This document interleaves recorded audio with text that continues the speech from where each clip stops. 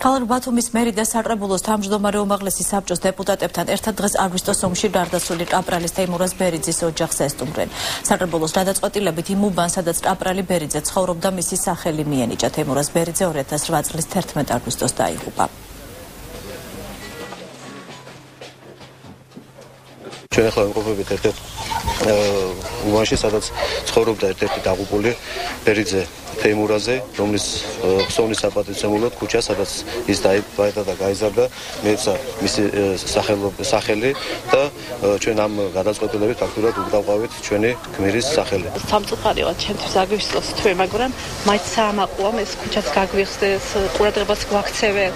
ხო და იმასაც ვიტყვი, რომ აა ბერნიერი არა ვარ, მაგრამ ამაყი ვარ, რომ გმირის მეუღლე მქვია და გმირის შვილებს ვსდი.